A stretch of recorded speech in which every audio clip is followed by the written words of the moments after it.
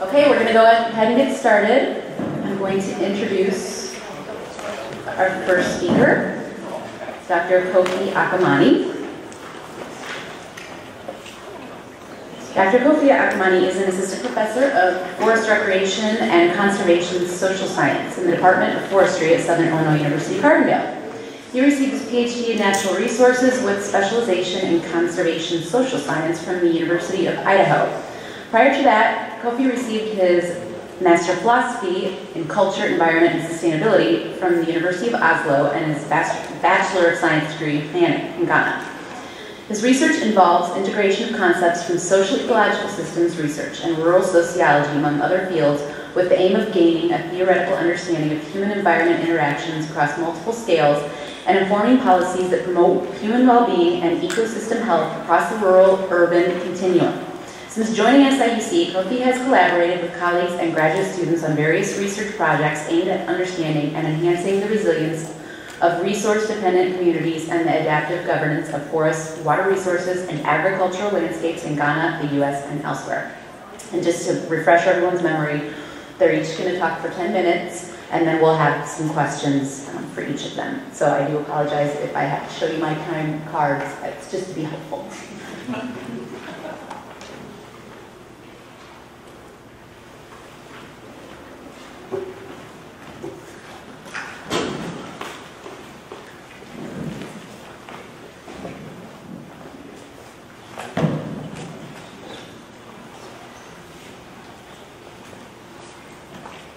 Thank you for the opportunity to be part of this conversation on building resilient communities uh, and economies in the Southern Illinois region in response to climate change and other drivers of change.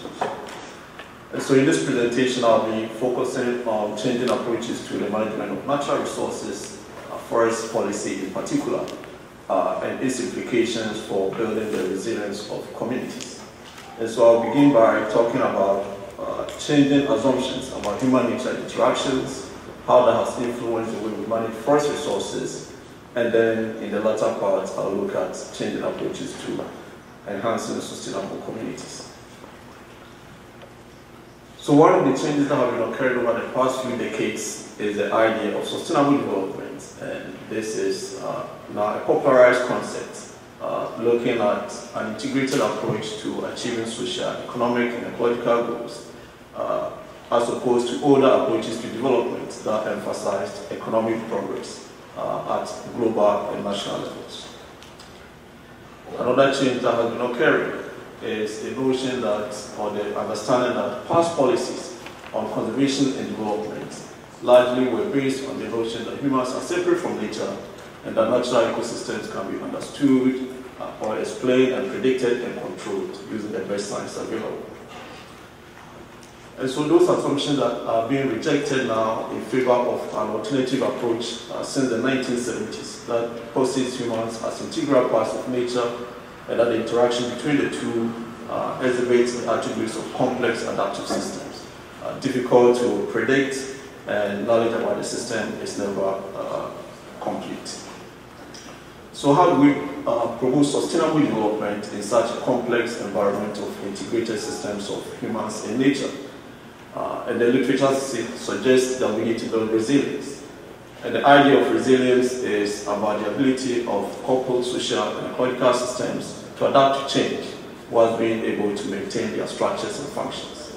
Uh, resilience is, uh, has been operationalized in a number of ways. Coping refers to short-term responses to threats and opportunities.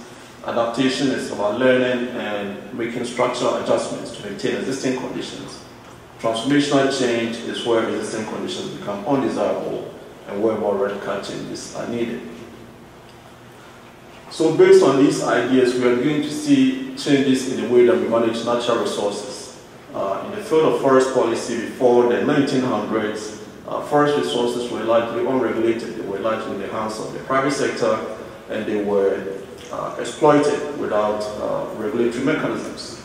And that led to various adverse consequences.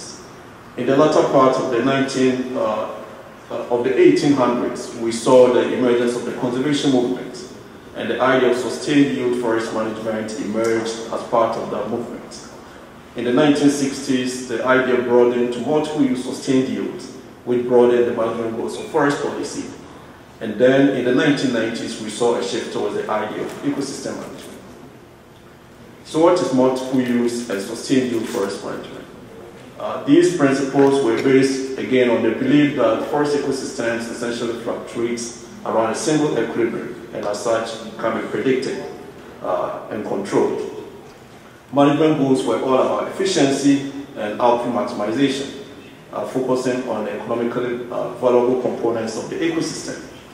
Uh, the science was reductionist, it was quantified, and decision making relied on regulatory mechanisms from government representatives. And so this approach that lasted through the 1960s and even into the 1970s has been critiqued for focusing too much on economic benefits and neglecting other social and ecological components. Uh, there's also the notion that this approach was not participatory enough and that the complexity of social and ecological systems were not adequately integrated or addressed. So shortfalls of this approach became clearer in the late 1980s, and by the 1990s there were widespread conflicts uh, in response to various ecological threats that were posed by the older approach. Uh, so the idea of ecosystem management was born in the era of President Clinton in the Pacific Northwest, and the Northwest Forest Plan was one of the first forest plans that was adopted based on these principles. And so in the ecosystem management approach assumes that humans are an integral part of nature and that they behave as complex systems. Uh, management goals are integrative. The uh, ecosystem management is a way to achieve sustainable development. And so the goal is not only on the economic component, but also on the social and ecological. It requires using multiple sources of knowledge, uh, including the social sciences and non-scientific ways of knowing. And decision making requires the use of institutional mechanisms that are collaborative and also are flexible enough to promote learning and adaptation. So some of the factors that have been known to contribute to the shift towards ecosystem management, in most cases we see various crises, social and ecological. So social conflicts often uh, trigger those changes. But other factors include enabling policies and leadership and other factors. So what does this mean for communities? We've talked about a shift from sustained yield and multiple use to ecosystem-based forest management. But what does it mean for forest communities? In the era of sustained yield, uh, the idea was that communities can, the well-being of communities can be sustained through the, uh, through the stabilization of uh, the flow of forest products to local mills uh, as a way of maintaining timber jobs and employment opportunities. And so community stability was really a major political motivation for pursuing policies on sustained yield. But now that we are in an era of ecosystem management, what does that mean for communities? And the idea is that now we need to be talking about community resilience. So community stability is about ensuring that we maintain a stable flow of uh, forest products, particularly timber from national forests, uh, and that by feeding that into local mills, we can maintain a constant uh, income and employment opportunities, thereby maintaining the well-being of communities. That assumption has been critiqued as being uh, flawed in the sense that it tends to uh, control various forces of change within and outside the community. Uh, but importantly, the relationship between communities and forests were not fully understood and communities were not adequately involved in decision making. The community resilience approach assumes that communities are always exposed to change and to sustain communities, there needs to be, uh, their communities need to have the ability to respond to those forces of change. And so communities are dynamic. Uh, the resilience approach is more integrative uh, in terms of the way that community well-being is conceptualized. And importantly, it recognizes that communities do have certain resources that contribute to their internal ability to respond to change. So what are these resources? Uh, they are typically characterized as, capital assets. And so they are economic, they are social, they include physical infrastructure, include natural resources, uh, and human capital, which is the knowledge and skills of community members. Another key component besides the capital assets is community institutions and organizations. Uh, institutions are the formal and informal rules that shape uh, interaction between people and nature. And they are, where we have effective institutions, they can play important roles in terms of organizing uh, and sharing information, uh, make, providing incentives for collective action, and also providing opportunities and, and enhancing access to appropriate resources for change.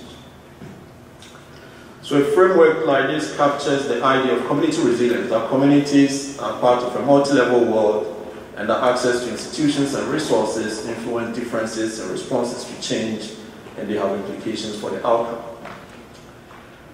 So in an era of ecosystem management, what kinds of challenges and opportunities do we need to be paying attention to as we try to build the resilience of communities? One is that we need to pay attention to the way that policies are designed and implemented. Policy design and implementation processes can enable or constrain opportunities for access to information and resources uh, and incentives. Communities are not always capable in terms of having institutions and assets to respond to change, and we need to prioritize building those resources. But we also need to remember that uh, community interactions are also influenced by external factors, and we need to build the ability to respond to those surprises. So to conclude, policy changes have been occurring in the field of forest policy uh, towards ecosystem management that have resulted in change in the way that we think about community sustainability from stability to resilience. The resilience approach is important because it enhances community survival in an era of climate change. But we need to pay attention to further understanding the mechanisms for enhancing community members' awareness and their interests as well as their capacity to respond to various forces of change. Thank you.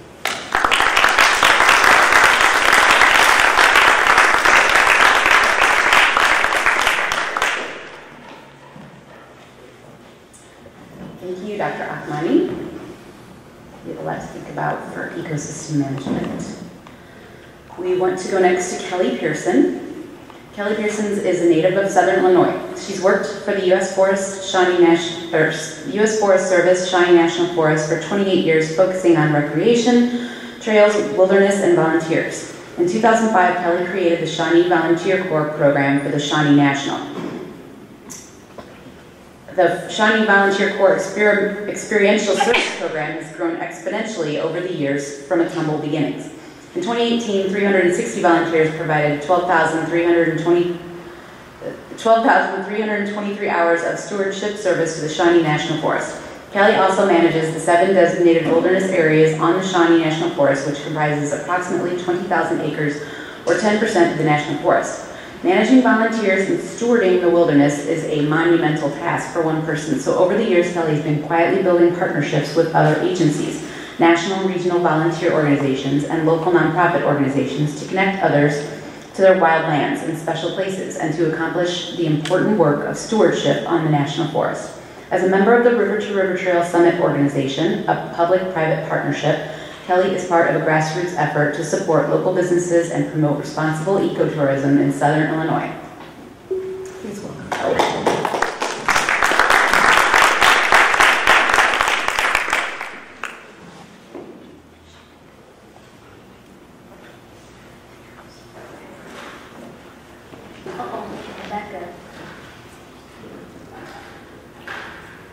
Hi everybody. So yeah, I'm from Southern Illinois. I'm native here, so I sort of have an accent. I sort of talk fast, so hopefully you can understand what I'm getting ready to talk to you about. So this is one of my uh, favorite things. I can never resist a call to trail. I'm a Buffalo Bill, so I thought I'd share that with you. So I want to talk to you today about the public-private partnership that surrounds the rejuvenation of the River River Trail here in Southern Illinois.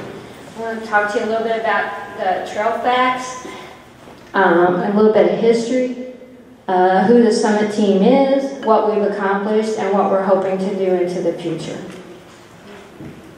So the River River Trail is 157 miles long. It goes from the Ohio River to the Mississippi River. It goes through five very small towns or villages.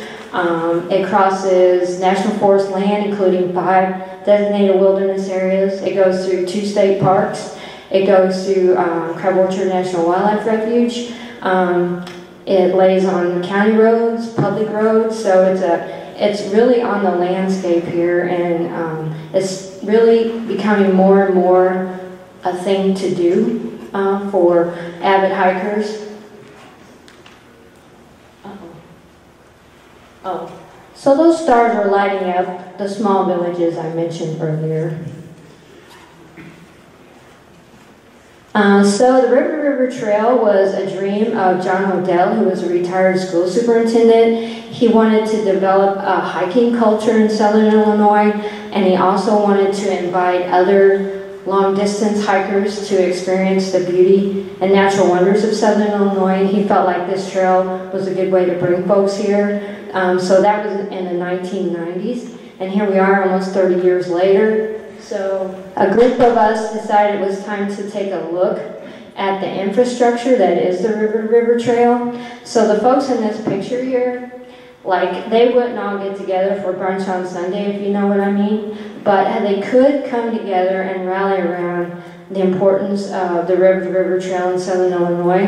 And so we, we meet twice a year, beginning in 2017. And in our first meeting, we came up with um, this set of goals, if you will.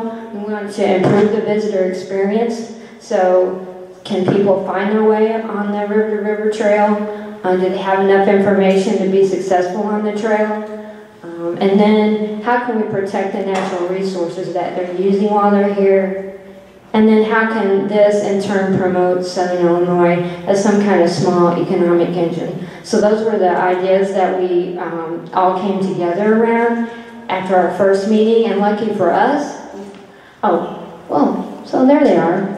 So it's the River River Trail Society, IDNR, Orchard National Wildlife Refuge, Touch of Nature at SIU, uh, AIM Wild, which is a regional wilderness stewardship group, and Southernmost Illinois Tourism Bureau. So those were the original partners at the table, uh, beginning in 2017. But over the past couple years, um, here are more partners that we've engaged either through service projects or um, working with our grants or whatever. So what started out as about 10 people around the table has really grown into something um, pretty large actually. So um, lucky for us, we had an opportunity to apply for a trail grant, um, a national trail grant, and we were successful and, and we did phase one and we started working on our first goal which was the signing you know improving the information that was out there. And um, we had students that we hired from SIU so every mile of the river river trail got hiked and then uh, trailblazers were put up. We also put up um, really nice portal signs at the beginning and end of the trail and then at certain milestones along the trail, we had um, information signs, and you'll see pictures of them. And then and we also were successful in year two, so that's when we really started to work on the infrastructure or backlog part of the River, River Trail, 157 miles. On the Shawnee National Forest, there are uh, one full-time person, me, and some seasonal people to manage all the miles that we have on us. So um, this really jump-started our efforts. So these are just some of the ways that our partners um, help us be successful. River River Trail Society, uh, GPS every mile, created maps on Avenza, made them available to the public. That's huge. They redid the trail guide. It's available um, online, and they also host the official website for the River River Trail. Oh, there's our beautiful signs right there. And the Shawnee Trail Conservancy, they're um, uh, an all trails, all use group, and they developed a um, volunteer program to use their animals to haul gravel into the wilderness. Nothing motorized or mechanized in the wilderness, so we have to use horses and mules, and they they didn't know how to do it, but we worked with them, and they have hauled, I think in 2018, we hauled about 80,000 pounds of gravel with these guys, so that's pretty amazing. And then there's us, and you know, we uh, help in a lot of ways. We help write the grants. We recruit a lot of volunteers to work on the ground. Um, our cartographer worked with them to develop the maps. Oh, I gave us two pages. Anyway, and then of course the Friends of the Shawnee National Forest, they administer the grants that we get. Um, they can actually hire people much easier than we can, so without all the government red tape, give some opportunities to students and locals. And um, they also host um, service days as well. And so, in looking to the future, we've already developed um, five multi-day trail loop opportunity. So those we get a lot of folks who want to backpack for three to five days, and they want to loop because the River River Trail is linear. So now we can say, oh, here, here's a map. Um, so that's that's a big deal. Uh, marketing. So the Forest Service can't market, but certainly our non-for-profits can. So what, why does, why come to Southern Illinois and do the River River Trail? Well, they're going to tell you why. And then we'll continue to do trail maintenance. It's never ending. And then we'll, as opportunities come forward for grants, we'll be doing those. Um, yeah. So recently, Boston University was here. They come every year for a week and they worked on the River to River Trail. We just uh, hosted an AmeriCorps and Triple C team with SIU and Giant City for nine weeks, and they they uh, did a lot of miles of maintenance on the River to River Trail. So there, that's there you go.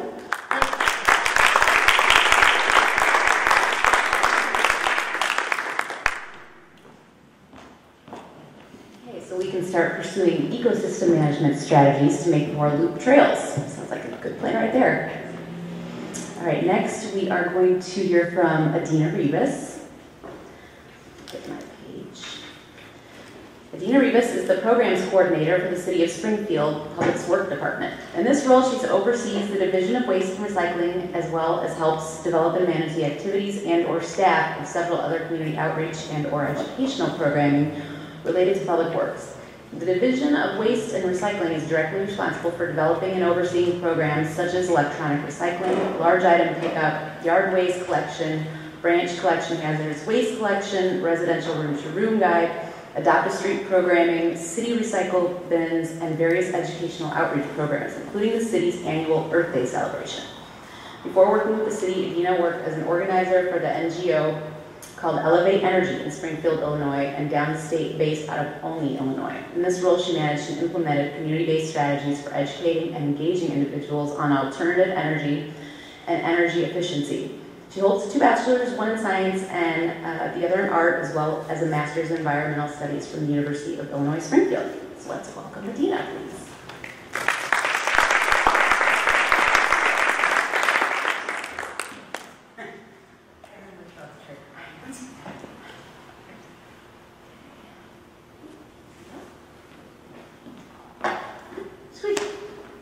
Afternoon, everyone. So I'm not necessarily going to talk about the waste and recycling programs in general. I'm going to be talking about plastics. A lot of people, when they think of plastics, they think of your single-use. You hear all the time about plastic bags and how bad they are, and maybe some of the plastics in general that we kind of throw away, and you kind of push forward the notion of recycling plastics. But it's a very confusing area for a lot of people, especially when you look at the bottom of a plastic bottle and you see those different numbers, or you look at containers and you have numbers one, two, three, four, five, six, seven, and this random eight that was thrown out.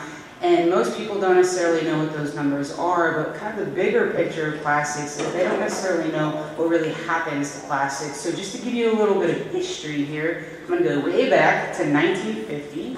Um, that's literally when plastics really started coming into our mainstream, onto the shelves, being put into industry, almost into everything. And since 1950, since plastics came into our overall stream, literally we have pumped 1.66 quadrillion pounds. And that's a number that we can't actually quantify in our mind. We've never seen anything that weighs that much. So a lot of people put it into more smaller terms, and I say smaller in quotations because it's not smaller, it's just a different measurement. So they say 8.3 billion tons. Not sure if that sounds any better. Again, a number that we can't actually quantify in our mind, right? But here's the idea, 1.66 quadrillion pounds of plastics. We live in a plastic planet. And it's because of all the single-use plastics, not just the plastic bags and the bottles, but the tiny little stuff Um, I'm in a hotel room right now. I got some coffee this morning. I had a little creamer and the stick and whatever it is to make coffee in the morning, and everything was in plastics. Teeny tiny little plastics. Think about kids' toys. It's plastic inside of plastic inside of plastic inside of plastic. Tiny little things that you pull off of your clothes that have the uh, tag attached and that little piece of plastic that's attached. All that stuff plastics and it's everywhere. It's in everything. Um, and if we continue kind of on the train where we kind of use these single-use plastics, dispose of them like crazy, if we continue how we've been actually using it, in another, what is it, it's 1990, 39 years, we literally will have created 34 billion tons. Look at that. 1950 to 2019, 8.3 billion tons, another 34 billion tons created by 2050. So people talk about climate change all the time, and obviously it's a huge, huge thing with multiple issues going on. The idea is that actually the plastic issue is a crisis all on its own to the point that we are literally living in a plastic planet and we created it.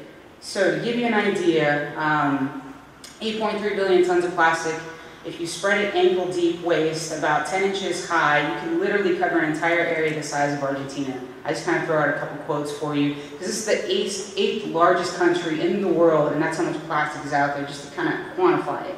So these are pictures of landfills, and I'm sure you've seen some of them. These aren't necessarily American landfills. We have a lot of different um, legislation that makes it so that you have to cover it every single day with soil, whatever it may be. These are different landfills in other countries, but even if we throw something away here, it doesn't necessarily mean that it doesn't get to uh, shoreline or into the ocean or everywhere across the world. We're all connected, and we forget about that. So in 2018, last year, National Geographic, they did a very, very long study, um, and the entire uh, magazine was dedicated to plastic, and it was literally called Pla Planet or Plastic or planet for plastic, meaning that basically our entire planet, we've turned into this plastic planet, all of our own doing, and they had all of this information out there. But the thing that really hit people and hit mainstream, um, the New York Times picked it up, and you heard a lot of people talking about it, is the quote that basically, where's it at?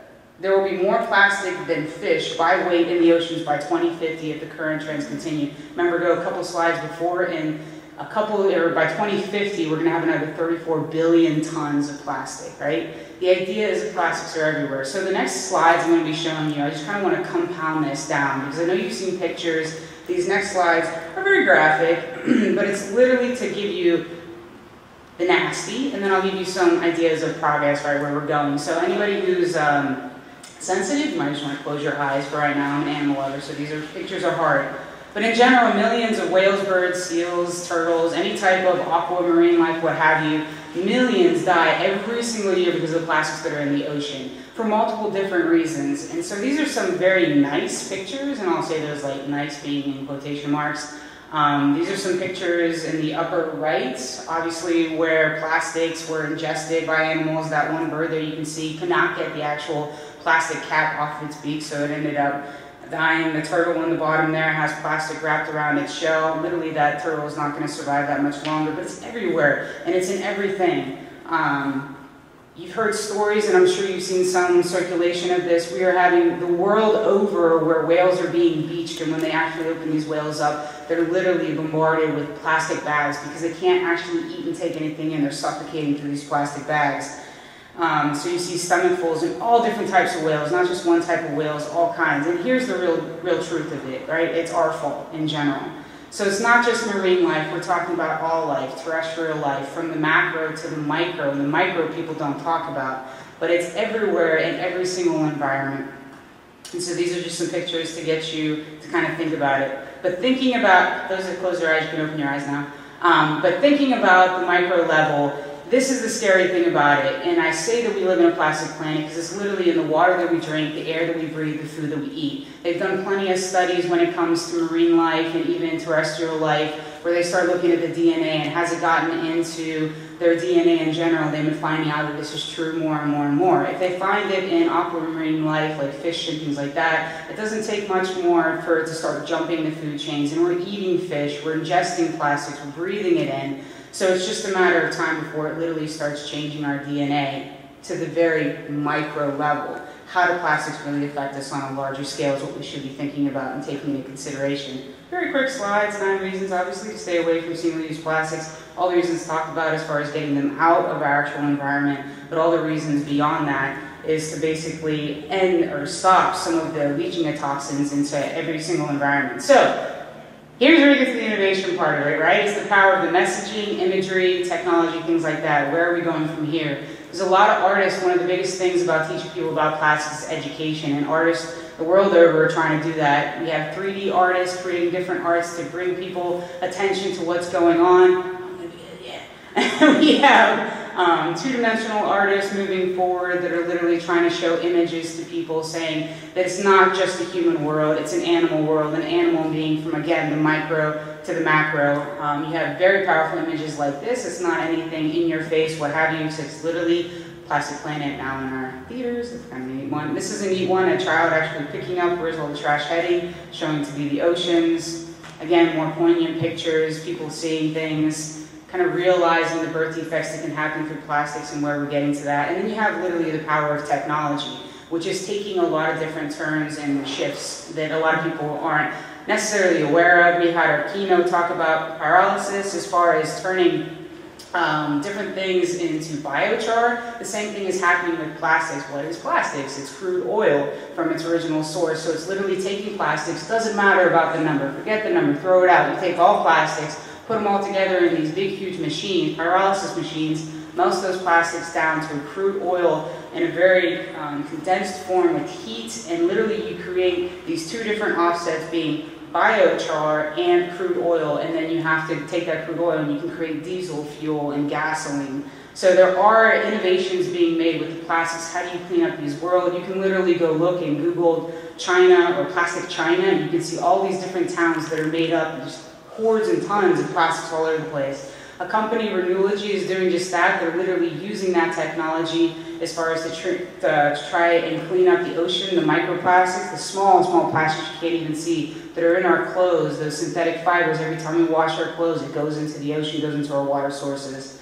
So they got all kinds of different materials um, that they use to create these different machines that actually can condense the plastic back down to their crude oil sense. Getting off that, I'm to go to the power of action. Here's another group. This is actually really good as far as like innovation, what can you do with plastics. This is a group from the Netherlands. Very interesting. They've been able to come up with an idea where they can literally take plastic, melt it down, kind of trap some of the noxious gases, and then if you are creative in any way, you make a makerspace, and this is exactly what they did here. And there's places all over the world that have actually picked up the call to do this. It's I kind of priced it out. It costs about anywhere six to ten thousand dollars to create the machines that they made available to everyone that would actually shred the plastics, melt the plastics, what temperatures you need for specific plastics, and then create whatever you want out of it. So it's taking plastic, molding it into something else, and keeping it in our stream instead of it going to the landfill and stuff like that. So one word that I kind of want to leave you guys with is rather than you hear it all the time, sustainability, that word gets twisted, turned, molded into meaning different things, is this word that's starting to catch on through academia called thrivability. And this is literally about looking at the situation, adapting, learning, and acting, literally getting up, and you can do something too.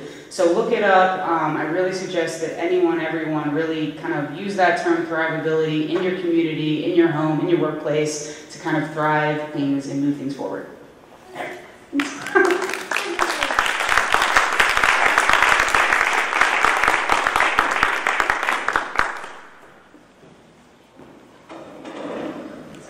Thank you, Adina. Our next panelist, Paul Anderson. Since his retirement in 2003 from teaching geography at Illinois State University, Paul Anderson has been instrumental in the innovations and advancement of pyrolytic gasification, which includes the creation of charcoal while generating combustible gases, wood gas, for a separate purpose, such as heat for a cook stove.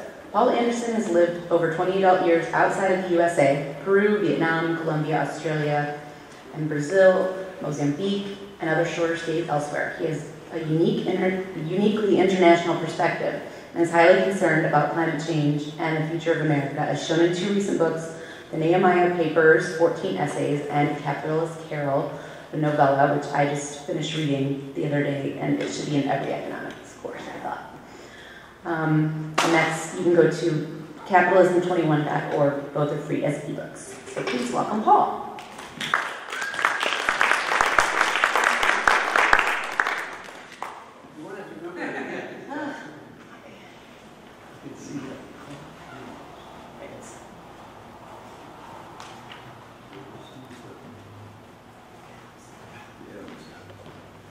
Hello, everyone. This is Paul Anderson. The, this is our topic.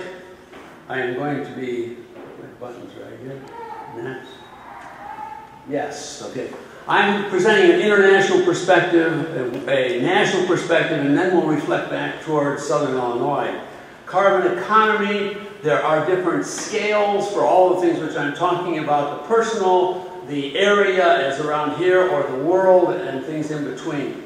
I am offering to you, I hope I'm offering to you, some opportunities for participation. I am actively recruiting. I want you, I need my Uncle Sam hat and all that good stuff.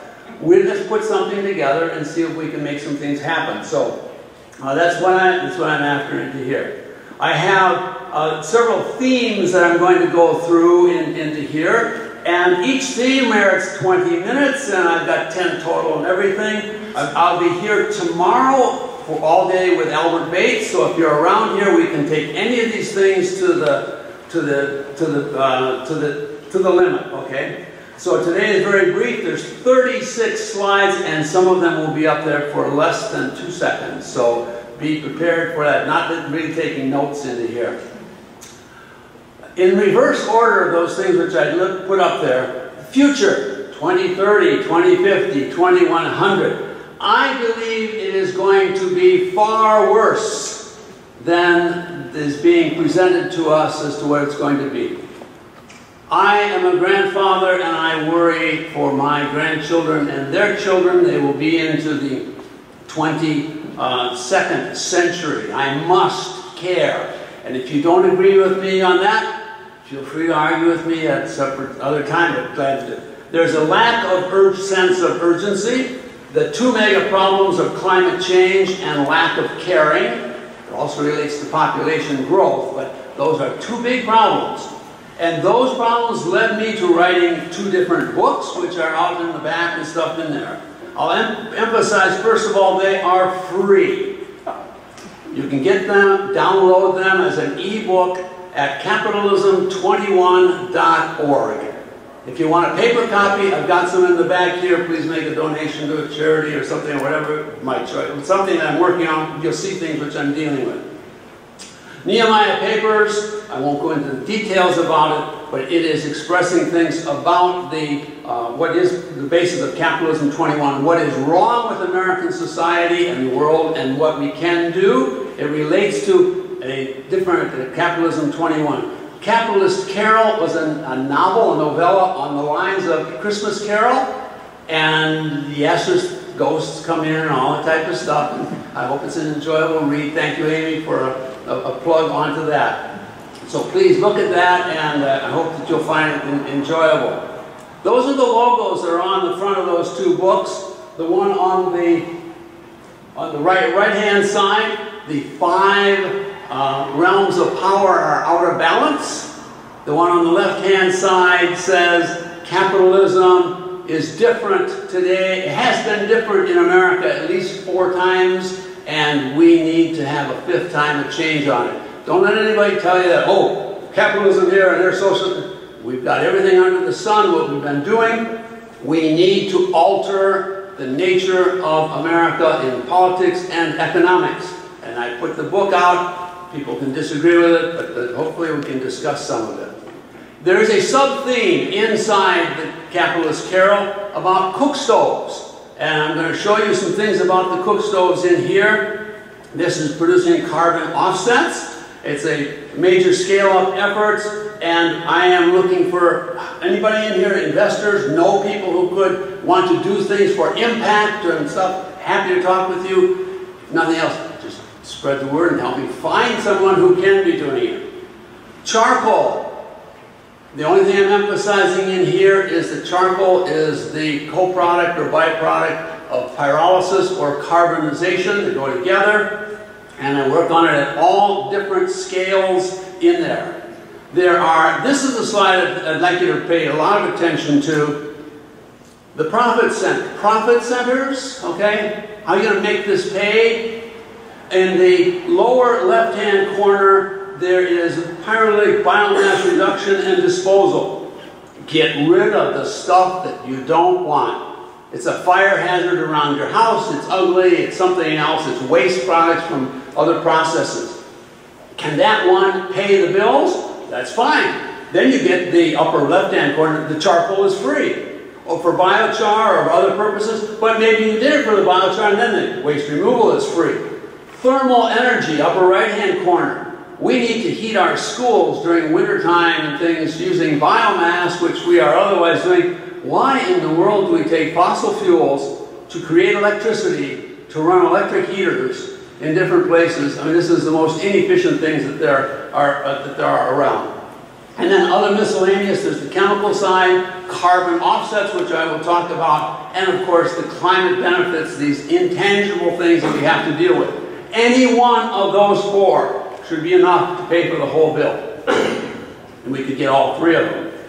Here I'm showing a picture of this of a cook stove that is on one of them is on the, the table for the demonstrations into here. A humanitarian project. Support that one. Help out just for the humanitarian projects of helping the, some of the poorest people on earth who are cooking on three stone fires and cooking with wood and will not have another choice in their lifetime or for many generations. That alone is the value for it. And this is the standard model for our, uh, um, for projects and things. And mission accomplished over here, fine. Do it for no other reason than that. But in this whole other part in here, we're going to have uh, different things that I'm going to show you in just a second here as it comes in. There's power of large numbers, 35,000 stoves out into there, 25 tons of charcoal a day. Get past it. This is in uh, uh, in India, uh, Bangladesh is the country in the, the grayish part on the left-hand map, and my project area is this one right down into there, or up into here, this little town of Hingalganj into that. 35,000 stoves are in these two areas. These are ongoing projects. Would love to do it. I can make long presentation about every one of these things. For that project, this is where there's 500 of the, we've got 1,000 stoves now, 500 stoves out there, and the detail in this little spot right here, there's actually a pond in the middle. And these are households of Indians, each one of them with one of these particular stoves. Imagine that area throughout this whole thing here, and then go back to all of West Bengal. Let's do a million stoves. Let's go on. The numbers are enormous. Albert talked about a, a gigaton of carbon uh, reduction, okay, or the, the charcoal. You can do that with just the cook stoves that are needed around the world.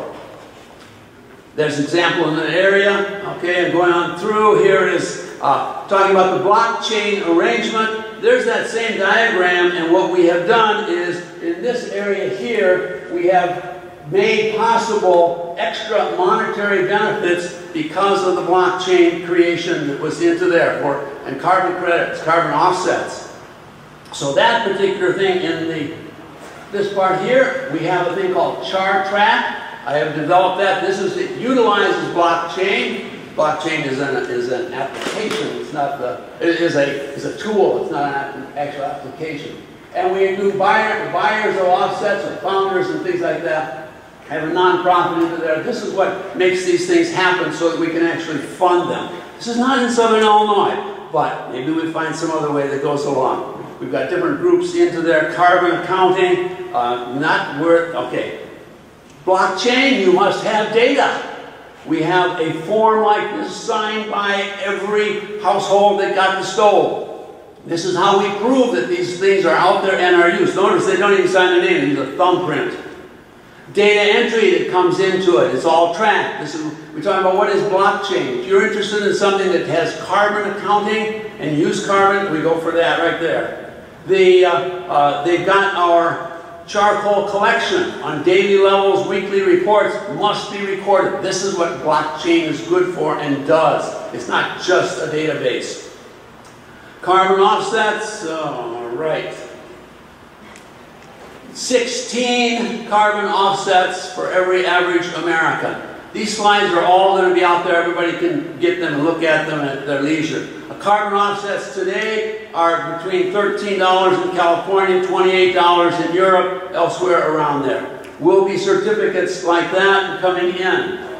Now, charcoal making. I didn't see your last sign, so I'm running out of time. All right, we're almost done. I'm into the last stage about how we make these, these things.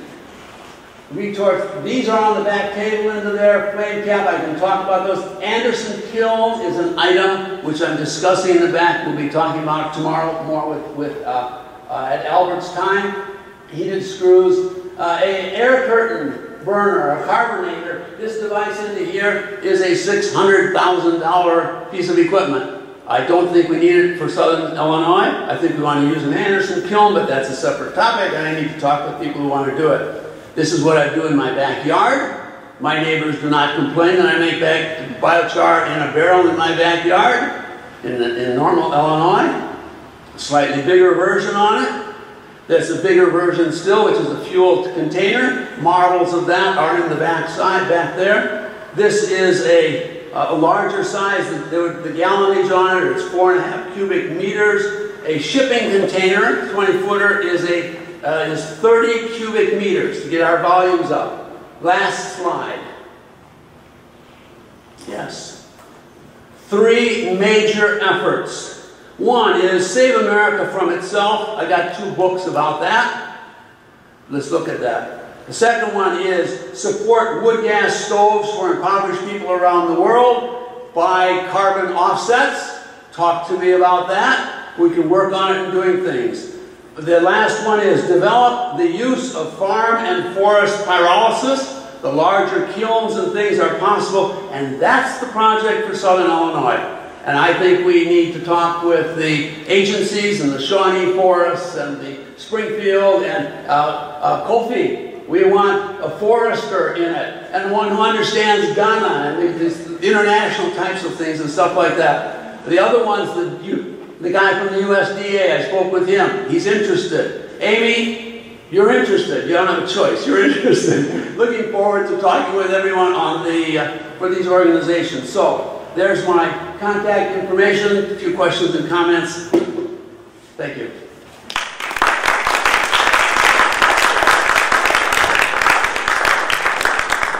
Dr. Anderson. I think I got a little whiplash on that, but that's okay. All right, so um, I've got some questions here that I just want to address to the entire panel. And if you can each just give a brief response based on your, your contributions here today. So the first question I'm going to ask is, in your area of expertise, what are important trends that people can take advantage of right now? What are, and what are things that you think are going to happen uh, in the near future or the far future. So if you could just talk about trends according to your, um, your area that you talked about today. And Kofi, Dr. Akamani, do you want to start? And we have microphones there.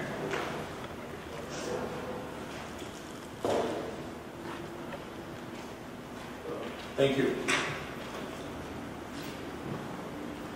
Trends and issues. Um, one of my areas of research is the sustainability of forest-dependent communities. And so uh, the presentation largely summarizes some of those trends that we are moving away from the view of uh, communities as stable, predictable, uh, whose well-being is measured only in economic terms, to the view that community well-being has multiple dimensions, and that communities, uh, communities exist in uh, they are not isolated entities, but they are part of a multi-level world and they are exposed to multiple forces of change.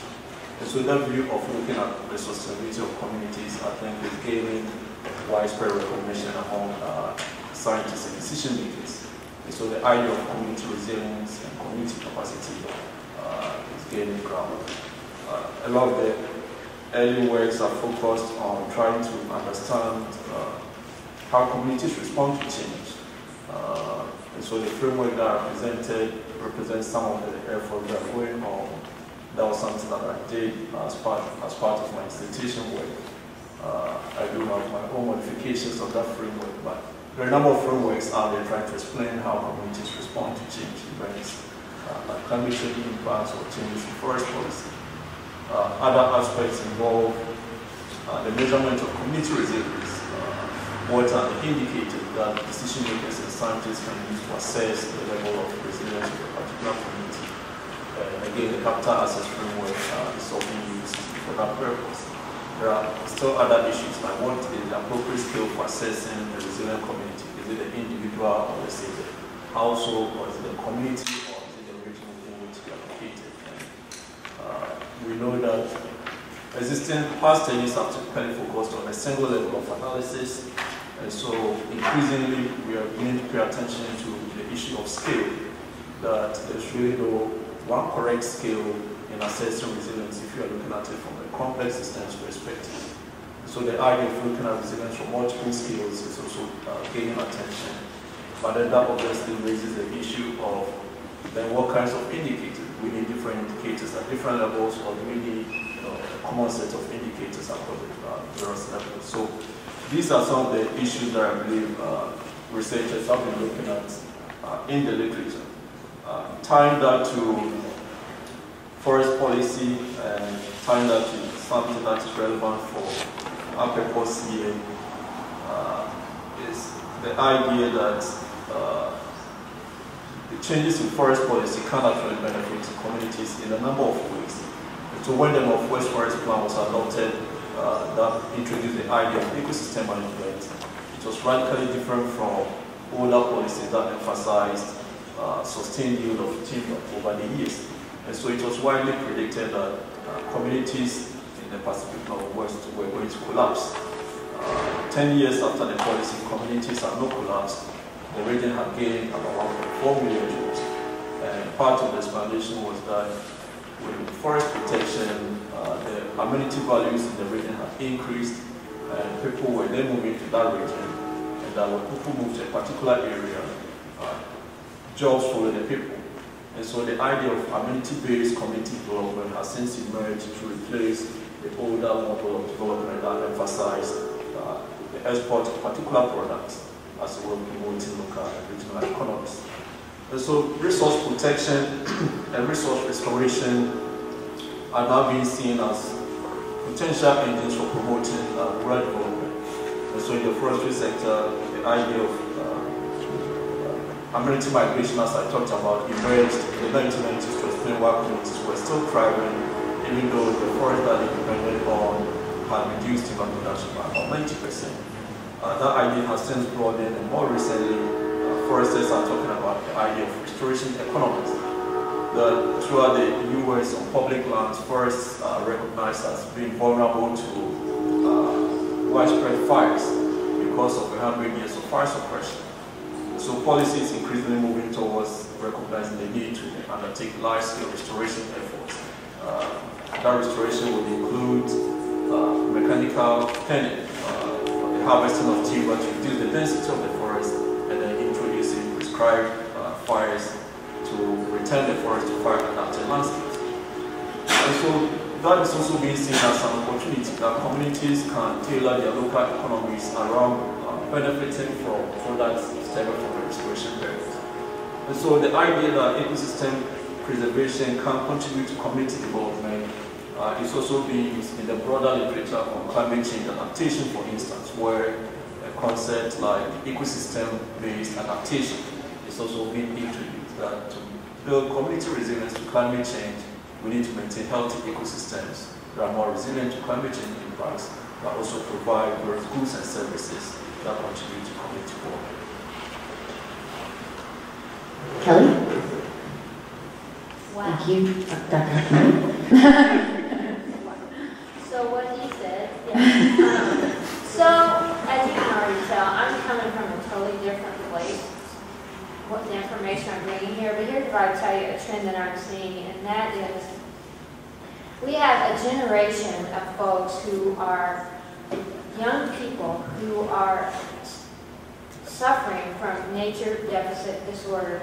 This more kids in the woods state, it is real. And I, I host, you know, hundreds of high school and college age students every year, and they are as disconnected from nature as, as you, oh, they ask me if the forest is planted, you know, like they, they have no, they just, they don't understand it. So, well, I think they care about the world and they care about climate change. I think those are just ideas out there, like they think stewardship is picking up trash. Well, yeah, that's part of it, but there's way more to stewardship than just picking up trash. And I, I don't know how we're going to fix it. I mean, I do my best. I'm not a, a, an educator by any way, shape, or means, but I just think the more kids I bring here, I give them a chance to sit in the woods, to be by themselves, to disconnect from the, the modern world and reconnect to nature. Um, it makes a big difference um, but really, I, I think that kids are really disconnected from the natural world, and, and I think it's, um, it's, it's a sad time. So anyway, that's what I'm thinking. Thank you. Nature deficit disorder is a thing. So, Albert? Uh, yeah, I don't know if this mic is working at all. The uh, example I want to give is coming from Stephen McGreevy in Japan. Uh, and it shows that there's a, a connection between the pent-up consumer demand that comes from climate shock and potential for economic development and sustainable rural development. That example is this rural uh, farm co-op in uh, Hozu province in Japan, and they uh, were having problems because of the aging demographic, right? The older people were on the farm, the younger people had left to go work in jobs in the city, and the smallholders were having difficulty managing the commons of the hillsides that were being overgrown with bamboo, which in earlier years would have been harvested. And now there were uh, wild boars coming in, living in the bamboo, and then ravaging the countryside and the rice fields and so forth. So now you have a problem. The Extension Service at Kamokia University uh, went out there and looked at the situation and suggested that they make biochar from bamboo. So they did. The Hozu Farmers Co-op made bamboo biochar. Uh, they put it in their uh, cabbage patches and on their vegetable crops, and they got much better and nutrient-dense food. And then they did a special marketing effort, and they made value-added products like Cool Slaw that would cool the planet and they sold that in grocery stores at a premium and sold out. And they did a survey. Well, why are people buying this? Because they're concerned for their children. They're concerned for what the planet's going to be like. There was this consumer pent-up demand for products like Cool Slaw that could, that could be cooling the planet while they're producing good nutrient-dense food. And that example then spread to you know publications where they're putting uh, information literature into schools, comic books with Mr. Biochar, Dr. Biochar going into the field and curing the, the soil infertility and how that then generates uh, these wonderful, luscious, big fat foods and big fat carrots and big fat cabbages and so on. So this is a this became a viral meme, and it became a way to re, uh, rebuild the rural economy. The farmers are doing very well, thank you very much. The bamboo is fixed. It's no longer a problem. It's seen as an asset. The wild boars don't ravage the rice, and all these knock-on benefits. And so this is the takeaway. There's actually uh, a huge potential there just waiting to be tapped of cooling the planet while meeting the sustainable development goals, matching up the 100 drawdown technologies to the 17 sustainable development goals. Thank you, Albert.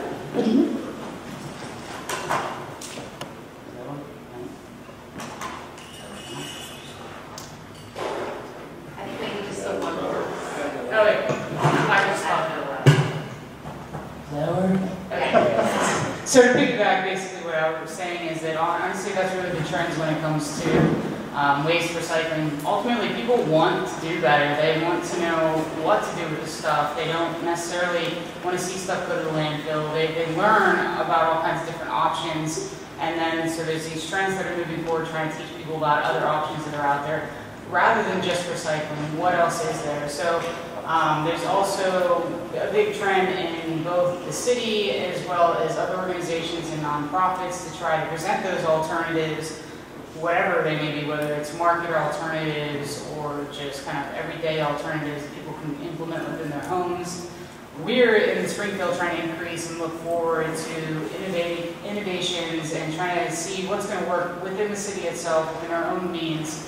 Some things we can do, some things we can't, and also trying to get the education out there to get organizations involved, um, even outside organizations or outside innovators to come in and to help us kind of make innovations. Those are big trends. We are the capital city, so kind of moving things forward, progressing things forward. We desperately want to look towards local legislation as well. What does that mean in terms of legislation, moving things forward? Sometimes legislation can hold you back. You're not looking at what's going to happen in five years or possible trends 10 years, 15 years down the road.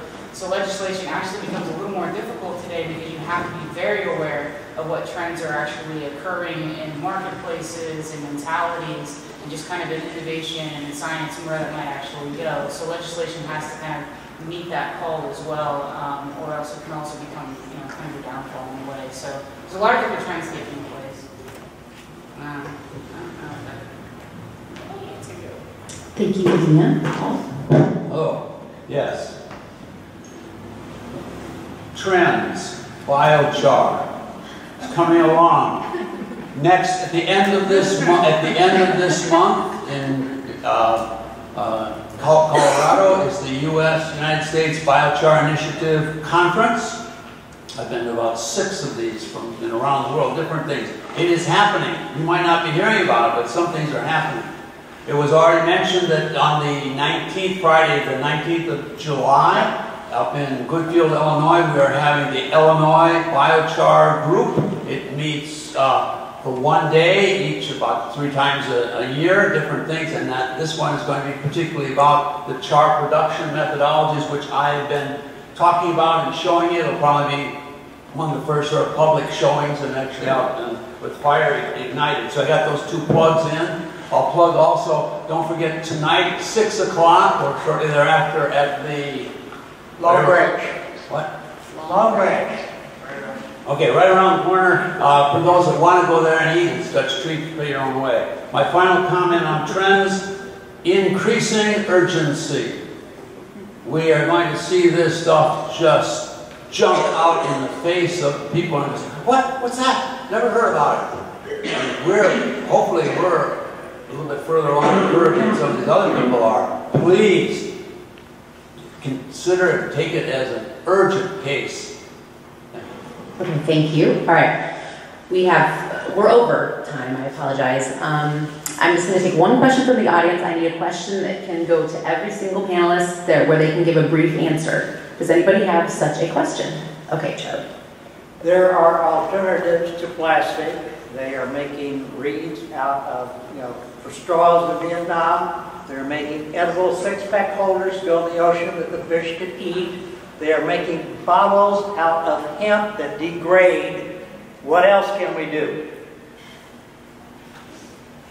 I'll start simply by saying, get those ideas out there and so that we are implementing them. The industries which make the plastics and do this stuff, they have every reason to not make the change. So uh, that's what we need, we need to do. There's a variety of things I think they have to do.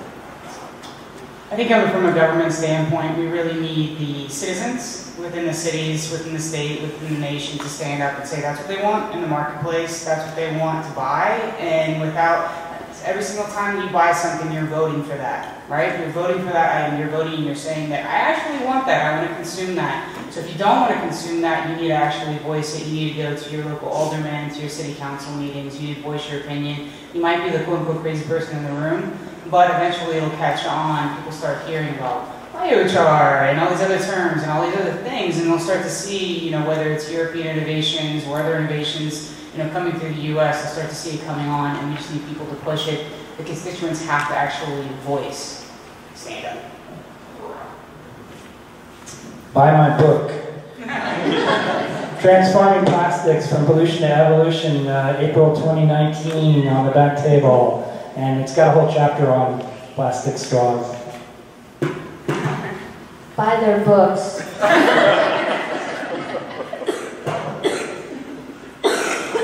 Well, I don't know much about plastics in particular, but I look at this as a policy question. And so I will address it from that perspective. I, uh, it's good to know that there are alternatives that are being explored. Uh, I think, you know, just prioritizing the search alternative systematic efforts in terms of researching and trying new alternatives uh, is an important starting point. Uh, so if we were to effect any form of policy change, uh, what are we going to do? And coming from a resilience perspective, uh, the first thing will be to create awareness about the issue, that the existing situation is not desirable and that there's a need for change. Uh, but being able to communicate that information requires that we need to have an alternative that is going to work better to be able to convince stakeholders. So access to information is important. Uh, the next thing is we need to be able to convince stakeholders that the alternative is better than the existing situation. And that means clarifying the cost of the existing situation and being able to highlight the benefits of the alternative. Again, that's a function of information, but it can also include uh, various government policies that provide the right kinds of incentives for the alternatives to work better. Then at, at that point, you can be, uh, begin to think about, you know, if people are aware and they find it interesting, then it's about making it possible for them to act. And that comes down to providing the right kinds of resources and the right kinds of opportunities for stakeholders to be involved.